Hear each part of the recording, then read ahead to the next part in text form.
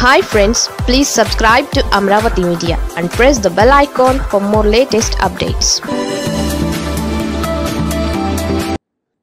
అచ్చం పచ్చ మీడియా తరహాలోనే తమిళనాట ప్రత్యేక దేశం డిమాండ్. వెంకయ్యనాయుడిని రాష్ట్రపతి చేయలేదని మొన్న టీడీపీ మీడియా ప్రత్యేక దక్షిణ దేశం వాదనను లేవనెత్తిన విషయం గుర్తుందా? ఇప్పుడు తమిళ నాయకులు కూడా అదే తరహాలో ప్రత్యేక ద్రవిడ దేశం డిమాండ్ను తలకెత్తుకున్నారు. అది కూడా పాలకపక్షం డిఎంకే మిత్రుల నుంచే ఈ డిమాండ్ రావడం విశేషం. ఒకవైపు కశ్మీర్లో పండిట్లను కాల్చేస్తూనే ఉన్నారు. మరోవైపు ఖలిస్తాన్ వాదం ప్రాణం పోసుకుని ఢిల్లీని ముట్టడించి ఈ మధ్య పంజాబ్లో అనుకూల ప్రభుత్వాన్ని ఏర్పాటు చేసుకుంది. ఇంకోవైపు కొత్తగా ప్రత్యేక తమిళనాడు కోరికలు బలాన్ని పెంచుకుంటున్నాయి. ఈ దేశం నుంచి విడిపోతారట. ప్రత్యేక తమిళ దేశం కావాలట. ఎవరో కాదు అధికారంలో ఉన్న స్టాలిన్ అనుయాయులు మిత్రులు గొంతెత్తుతున్నారు. మొన్నటి జులైలోనే రాజే అనబడే మాజీ కేంద్ర మంత్రి ఇప్పటివరకు మా ముఖ్యమంత్రి స్టాలిన్ అన్నాబాటలో నడుస్తున్నారు. నాకు గనక స్వయం ప్రతిపత్తి ఇవ్వకపోతే పెరియార్ మార్గంలోకి వెళ్ళాల్సి వస్తుంది. మోడీకి ఇదే నా సూచన అని బహిరంగంగా హెచ్చరించాడు. పెరియార్ మార్గంలోకి అంటే ద్రవిడినాడు పోరాటం అని సదరు రాజా అభిప్రాయం. ఈ రాజా అంటే గుర్తుంది కదా అప్పట్లో టెలికాం మంత్రి వేల కోట్ల టూ జీ స్కామ్లో ప్రధాన నిందితుడు. కరుణానిధి కుమార్తె కనిమొళి జైలుకి వెళ్ళొచ్చింది కూడా ఈ కేసులోనే.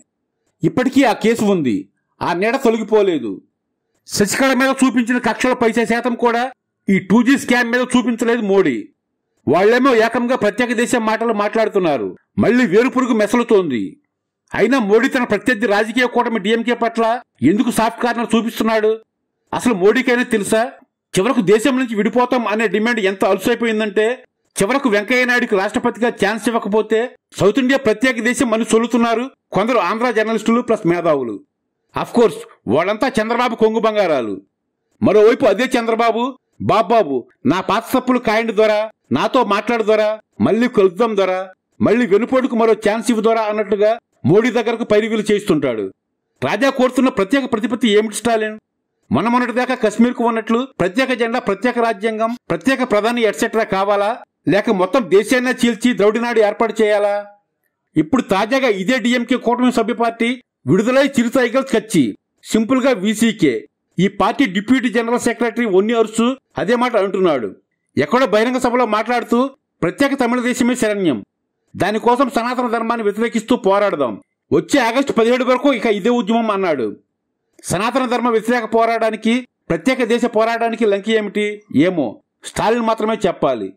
ఎందుకు స్టాలిన్ చెప్పాలి అంటే రాజా తన పార్టీ కీలక నాయకుడు. ఏసీకే తన మిత్ర పార్టీ. అసెంబ్లీలో నాలుగు సీట్లలో గెలిచిన పార్టీ. ఆల్రెడీ లోక్సభలో కూడా ఓ సీటు ఉంది దానికి. ఆ పార్టీలో మొదటి నుంచి ఉన్నది ఎల్టీటీఈ ప్రభాకరన్ ఆరాధకులు సమర్థకులు. శ్రీలంక సైన్యం టైగర్ల నడుమ హోరాహోరీ నడుస్తున్న కాలంలో ఈ పార్టీ ఇతర పార్టీలను తోడేసుకుని తమిళ ఈలం సపోర్టర్స్ ఆర్గనైజేషన్ పేరిట ప్రదర్శనలు నిర్వహించింది. అలాగని ఈ పార్టీ అంత స్థిరంగా ఒకే కూటమిని అంటిపెట్టుకుని ఉండే రకమేమీ కాదు. పంతొమ్మిది వందల తొంభై తొమ్మిది నుంచి ఇప్పటి వరకు అనేక పార్టీలతో జతకట్టింది విడిపోయింది. సో తన పార్టీ రాజకీయ ధోరణి ఏమిటో ఈ ప్రత్యేక దేశం డిమాండ్లు ఏమిటో స్టాలిన్ వివరణ ఇచ్చుకోవాలి. స్థూలంగా డిఎంకే పొలిటికల్ లైన్ అదేనా? చెప్పు బ్రదర్ ఏమీ కాదు. మోడీకి ఏమీ చేత కాదు. అదానికి దోచిపెట్టడం మినహా. తన అదృష్టం కొద్దీ రాహుల్ అనే ఓ గ్రహం కాంగ్రెస్ని మింగేస్తూ మోడీని బలవంతుడిగా చూపిస్తోంది. చిన్న రాష్ట్రాలు అనే దిశలో మోడీ నుంచి వేసమెత్తి కదలకలేదు.